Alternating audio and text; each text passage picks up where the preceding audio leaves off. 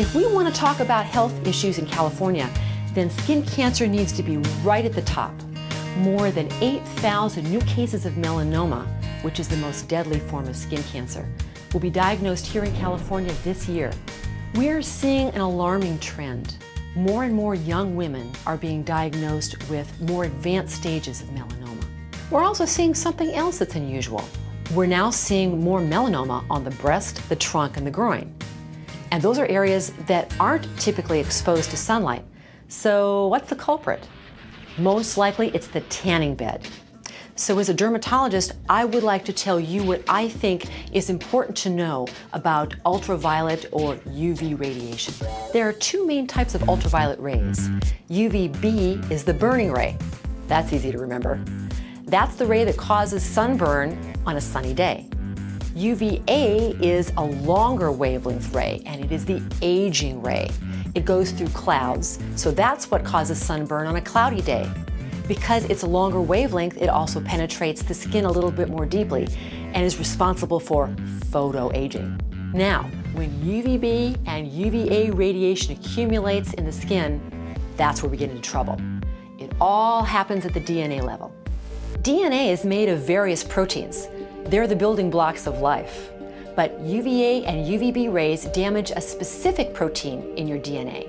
This damaged protein is responsible for tanning your skin, and it's the same protein that transforms a cell into producing skin cancer. So now we know.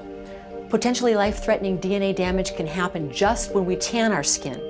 You don't even need to get a burn to increase your risk of skin cancer. That's why I tell my patients there is no such thing as a safe tan. So what can you do today to help prevent skin cancer? Well, the first thing you can do is stay out of the tanning booth. If you want a tan, spray it on or rub it on. This is safe. Tip number two, block it out. This is a shot glass full of my SPF 30 plus sunscreen, and this is how much you need to use 15 minutes before you go out in the sun and every two hours that you are in the sun. This is the same amount that you need to use after swimming and sweating. Now that we have sunscreen on, it's time to cover up. Here's my broad brim sun hat, my sun shirt with its tightly woven fabric. This is my swim shirt. And I always remember my SPF 20 protective lip balm. I keep this stuff handy so that I can grab it when I'm on the go. Tip number three, time your exposure. Did you know that the sun's rays are most intense between the hours of 10 and 2? So if you're out in the sun at that time, find a tree or an umbrella or a pop-up. Seek some shade. Just knowing where the sun is and acting responsibly can greatly reduce your risk of skin cancer. Remember, there will be over 8,000 new cases of melanoma diagnosed in the state of California this year, and I don't want you to be one of them.